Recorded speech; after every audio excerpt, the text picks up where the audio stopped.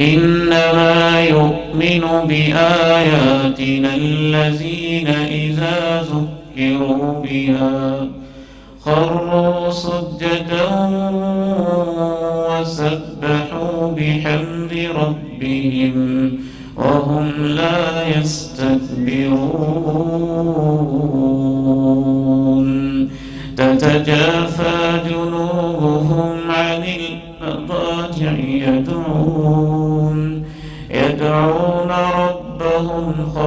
وطمعا ومما ومما رزقناهم ينفقون فلا تعلم نفس ما أخفي لهم من قرة أعين جزاء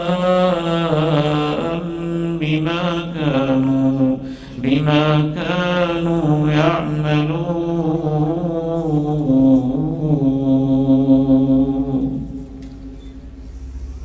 اللہ کا قرآن کہتے ہیں، ہماری آیتوں پر صحیح معنی میں سچے مومن وہ ہیں جن کی کیفیت یہ ہوتی ہے جب ان کو آیات ربانیاں پڑھ کے سنائی جاتی ہیں تو وہ سجدوں میں گرے پڑتے ہیں، وہ تکبر میں نہیں آتے، فخر اور غرور میں نہیں آتے، بلکہ وہ سجدوں میں گر پڑتے ہیں، رات کو اپنے بستر پہ جانے لگتے ہیں، تو ان کے پہلو بستروں سے الگ ہو جاتے ہیں اور وہ اپنے رب سے خوف کے مارے اور جنت کے شوق لیے دعائیں کرنے لگ جاتے ہیں، جو اس انداز میں جیتے ہیں، ان کے لیے وہ وہ میں نے جنت میں تیار کیا ہے کہ جب وہاں پہنچیں گے تو ان کی آنکھیں ٹھنڈی ہو جائیں گی۔ جناب عثمان غنی رضی اللہ تعالی عنہ جیسا کون صالح ہوگا، داماد نبی ہیں۔ قرآن کے خادم ہیں۔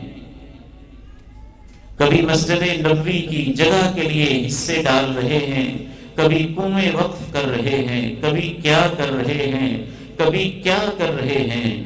جناب عثمان غنی رضی اللہ تعالی عنہ، جن کو جنت کی ضمانت اور جنت کی بشارتیں ملی ہوئی ہیں، ان کی ایک کیفیت ہے کہ جب بھی قبر پہ کھڑے ہوتے ہیں، داڑھی مبارک رو رو کے آنسوں سے بھیگ جاتی ہے۔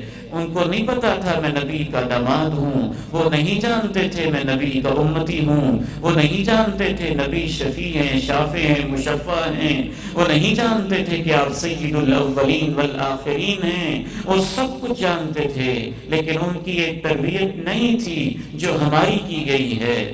ان کا یہ انداز جینے کا نہیں تھا جو ہم نے بنا لیا ہوا ہے۔ وہ یہ عذر لنگ اور لیم ایکسکیوزز اور جھوٹے بہانے نہیں تراشتے تھے۔ جو شیطان نے ہمیں سجائے ہوئے ہیں۔ ان کی داڑھی آنسوں سے بھیگ بھیگ کے تر ہو جاتی۔ لوگ پوچھتے، جنت کا تذکرہ ہوتا ہے۔ آپ اتنا نہیں روتے، جہنم کا تذکرہ ہوتا ہے۔ آپ اتنا نہیں روتے، آخرت کا تذکرہ ہوتا ہے۔ آپ اتنا نہیں روتے، قبر کا تذکرہ ہوتا ہے۔ تو آپ اتنا کیوں روتے ہیں؟ دو وجہ انہوں نے بیان کی فرمانے لگے، پہلی وجہ یہ ہے، القبر اول منزل من منازل الاخرہ، جو عالم آخرت ہے، جو آخرت کا جہان ہے، اس کا پہلا سٹاپ قبر ہے۔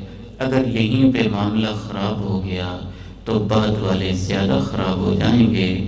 اور اگر یہاں پہ کام آسان ہو گیا، تو بعد والے بھی آسان ہو جائیں گے۔ دوسری وجہ کہتے میں نے اللہ کے پیارے نبی علیہ السلام والسلام سے سنا ہے، ما رأيت منظرا الا والقبر افزع منه کونین کے تاجدار نے آمنہ کے لال نے، ان پہ میرے ماں باپ، ہم سب کے ماں باپ، ہمارا سب کچھ قربان ہو جائے.